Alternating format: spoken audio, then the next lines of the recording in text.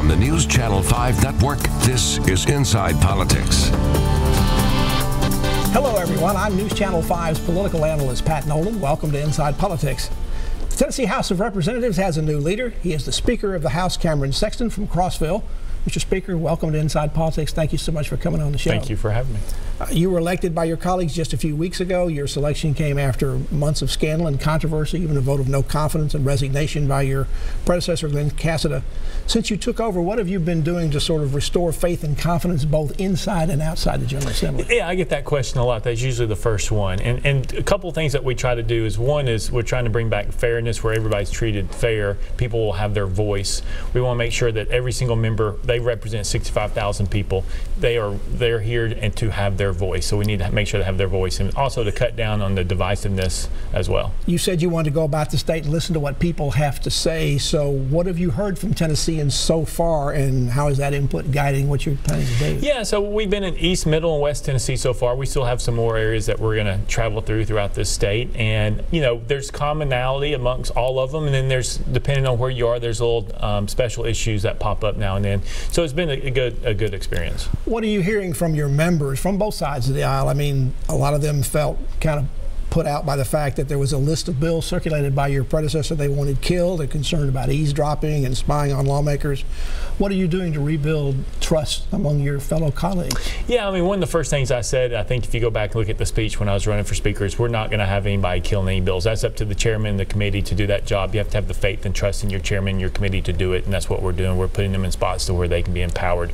You know, the other the other aspects of it is there's been employees who have left and other things, so we're in the process of, of making those moves as well as going back and looking to make changes to the policy and procedures and the processes. On a bipartisan basis, you have mentioned the idea of lawmakers of both parties coming together to do some public service projects together. What have you got in mind? Well, so I've, I've reached out to a couple reps um, in the Shelby County area, and they're looking at um, some things that we may do. I don't want to just be ceremonial. I've told them we want to do something to do with labor, whether it's painting, picking up, doing whatever, building, um, and we're going to try to do that across the state as we can. Reaction from lawmakers has been good. They're ready to go out and start doing something. I think they are. It, it allows us to have a different dialogue than talking about policy in Nashville. We can actually talk about things of their lives and get to know each other better. Do you see that happening before session begins in January? Is that something more, say, for the spring when the weather gets a little nicer? You're going to go out and clean up lots. Right. We're hoping actually to do something before before we go back in session. Uh, Speaker Casada is still a lawmaker representing uh, Williamson County. Now, previous speakers have stayed in the legislature after stepping down, but usually it's because their party lost control of the House. That's not the circumstances here. Has any way of this? Is this transition been okay? Has he been cooperative with you? Everything going okay and well? Yeah, everything's going fine. I mean, I haven't had many conversations uh, with Representative Casada at this point, and you know he, he is on some committees that we appointed him to because he's still a representative, and it's his um, between him and his district if he wants to stay or not. So you haven't felt awkward about it? No, no. Um, it's you've politics. Been, you've been in the General Assembly for about a decade. Uh, you observed the role of the Speaker, but have you been even surprised with how much the Speaker does? I mean, it's, it's more than just appointing committees or running the meetings. I mean, there's a lot to do. There's a lot to it. You have to have a very good staff as well to help you manage and handle everything that's coming in, whether it's board appointments schedule. and a busy schedule and traveling. And um, but th there's a lot to go into it more than you, you um, are accustomed to. The nice thing is we have a four month period between now and session where we can kind of get our feet up. When you came to the General Assembly, did you ever see the day that you would be the Speaker of the House? Was that one of the goals you had when you came in to represent the Crossville I, I wouldn't area? say it was one of the goals. I think everybody who comes into the House um, or who wants to run for further office at some point thinks about an opportunity. But it's all about opportunity and about timing. Whether or not you are able to achieve that or not, it's a different story. Speaking story. of running for a future office, I read a profile in which one of your supporters down in your district said he hopes your next step will be running for governor. well, is that is that on your agenda? It's all about time and opportunity. Governor Lee's doing a great job, and I look forward to working with him over the next eight years, which I think he'll be governor for. You have a strong political pedigree in Tennessee politics. You are related to the families of both former Senator Howard Baker and Knoxville Congressman John Duncan. Um, you also work for former Congressman Van Hilleary and you're close to the current Lieutenant Governor Randy McNally. Uh, what role do all these people play? Have they been mentors for you? Well, how important have they been in your life? They've been mentors. I've known Randy the longest since I was in high school, and he's known me the longest. So that's a special relationship that we have that we hope to continue on as we're Speaker and Lieutenant Governor.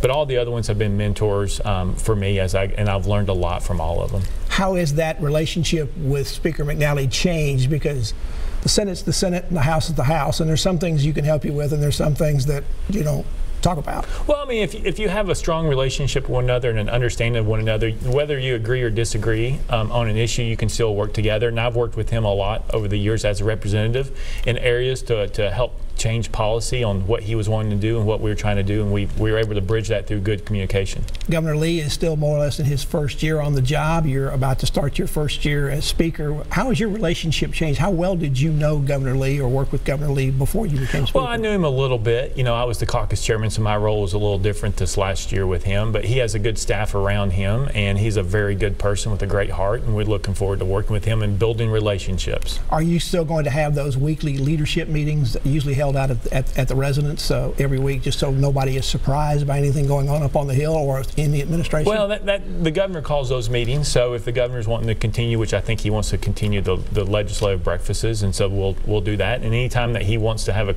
a conversation or meet, I'm willing to meet and have the conversation. Uh, the signature achievement of Governor Lee, his first term, was the approval of a pilot program in Nashville and Memphis to award education savings accounts. Some people call them vouchers to allow students in failed public schools to go to private schools. Uh, you voted against that bill. Why? I did. Well, I was just philosophically against um, the voucher ESA plans, and you know, there's I just had different varying opinions about it, and I come from a strong background in public education with my grandparents and my parents both being educators. Uh, the law was passed, um, envisioned it beginning in Memphis and Nashville in two years. The governor has talked quite a bit about wanting to start it a year early. Mm -hmm. Are you concerned about that? And is there anything the legislature can do to make sure it takes two years instead of one year to get started? Well, we, we've expressed our feelings to the to the governor, and he understands that. And, and the, the law was passed, and the governor has the ability, based on how the law was written, to do what he thinks, and he's moving through with the rulemaking process. And my understanding is there's others who are looking to file some lawsuits. And this week, the state education board was looking at the rules, and they're going to meet again in November. So we'll just kind of have to see how everything falls out. There are already lawmakers, a lot of them Democrats, seeking to repeal the voucher program as the Speaker of the House, you can either help that a lot or hinder that a lot. Where are you going to be? Are you going to stand in the way or encourage efforts to try to take another look well, at Well, I mean, that gets you into that kill bill list again, right? And so if, if you have, if you put people on your education committee and have the right chairman in the place, they will do the job to make sure what needs to pass passes or, or amend whatever it needs to be. Members can file any, uh, up to 15 bills, and so if a member wants to file a bill and put it for, before committee, then that's what they can do. The new Tennessee Speaker of the House, Cameron Sexton from Crossville, is our guest on Inside Politics. Back to continue our conversation with the Speaker on the other side of this break. Stay with us. This weather update is sponsored by Blue Cross Blue Shield of Tennessee.